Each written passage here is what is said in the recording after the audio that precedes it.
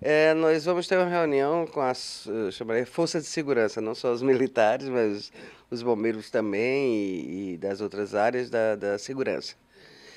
É, ainda estamos na, na fase da discussão do projeto. Nós vamos apresentar o primeiro projeto para poder eles darem opinião, para poder a gente fechar realmente o projeto. O, esse primeiro semestre nós fomos todos resolver o fundamental, né, que é a base, que é o terreno. Resolvido o terreno, partimos para fazer o projeto, agora estamos voltando para ter a segunda reunião já apresentando o, o projeto. Então, fechando hoje todas as coisas, a gente volta, termina o projeto e dá entrada na Caixa Econômica.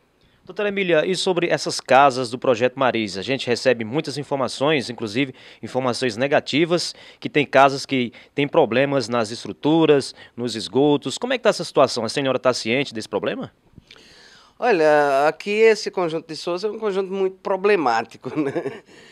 É, quando eu assumi a gestão da CEAP em 2011, esse, esse conjunto estava ali parado, Uh, foi assinado em 2004, então eu assumo sete anos depois. Muitas obras feitas e um problema grande. Tivemos uh, a empresa que também demorou, não respondeu. Os preços completamente defasados. O Estado teve que entrar quase com tudo, porque o dinheiro originalmente não assinado em 2004 não servia, não dava mais. Então, é, quando nós terminamos de corrigir todos os problemas da casa, que entregamos uma parte do conjunto, ao ligar a água, aqueles canos que estavam enterrados estourou completamente, porque estavam ressecados não sei quantos anos, e nós não tínhamos como saber. Tínhamos feito o teste, mas teste é, com pouca água. Quando foi a todo vapor, foi que estourou todo o processo de, de, de de água e também com problema com processo de esgotamento sanitário. Então nós tivemos que refazer tudo e refazer é muito mais difícil, mais caro, mais trabalhoso do que fazer. Então nós herdamos isso aí.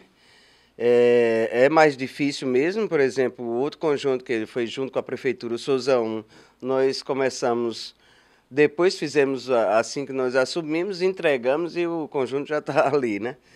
É, esse é o problema, da gente herdar problemas de obras simplesmente abandonadas há não sei quantos anos. Previsão de mais casas, ou seja, entrega de casas para Souza? Esse conjunto problemático, nós estamos terminando de resolver todos os problemas e vamos entregar as últimas casas mesmo, então resolve de vez da aí, a essa herança ó, ruim, né? E na, aqui para Souza nós estamos esperando só a autorização do federal lá de Brasília para assinarmos o Souza 2 em parceria com o governo federal, governo estadual, governo municipal.